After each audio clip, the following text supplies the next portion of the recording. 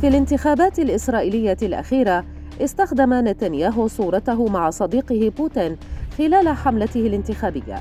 فما خلفية الشقاق بين الصديقين الآن؟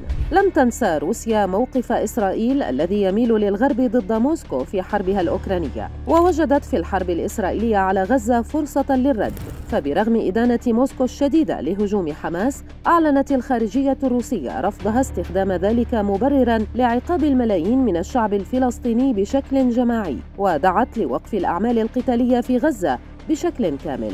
الخلاف الروسي الإسرائيلي ظهر جليا في البيانات المتضاربة التي نشرتها إسرائيل وروسيا في أعقاب محادثة بوتين ونتنياهو الأخيرة بحسب صحيفة الجارديان البريطانية فقد أعرب نتنياهو عن استيائه من مواقف موسكو المناهضة لإسرائيل وتعاونها الخطير مع إيران بينما سلط البيان الروسي الضوء على الوضع الكارثي في قطاع غزة. الجارديان نقلت أيضا عن الدبلوماسي الروسي السابق نيكولاي كوزانوف قوله إن العلاقات وصلت إلى أدنى مستوياتها منذ سقوط الاتحاد السوفيتي.